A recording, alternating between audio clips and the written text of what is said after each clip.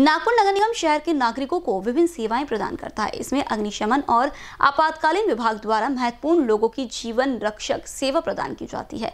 निगम प्रशासक और आयुक्त राधाकृष्णन बी ने कहा कि निगम शहर के नागरिकों की सुरक्षा के लिए दिन रात दमकल विभाग को और अधिक सक्षम बनाने के लिए प्रतिबद्ध है और वह उस दिशा में काम कर रहा है। इस समय नगर आयुक्त एवं प्रशासक राधा कृष्णन बी, गणमान्य व्यक्तियों ने शहीद गुलाबराव कवले शहीद प्रभु कुहीकर और शहीद रमेश ठाकरे को भी श्रद्धांजलि दी, जिन्होंने आग के कारण अपने प्राणों की आहुति दी। साथ ही फायर ब्रिगेड की ओर से दी गई सलामी को भी स्वीकार किया। आग पर काबू पाना बहुत ही तेज गति का काम है। दूसरों की जान बचाने के लिए अपनी जान जोखिम में डालते हुए जवानों की सुरक्षा सुनिश्चित करने को प्राथमिकता दी जा रही है। इसे देखते हुए निगम के हाल ही में घोषित बजट में अधिकांश धनराशि दमकल विभाग को देनी है।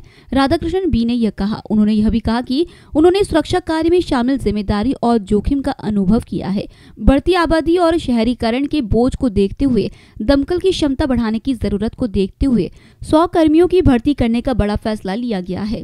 कैमरा पर्सन राजकुमार मोहर के साथ अभिषेक पांसी बीसीएन न्यूज़ नागपुर।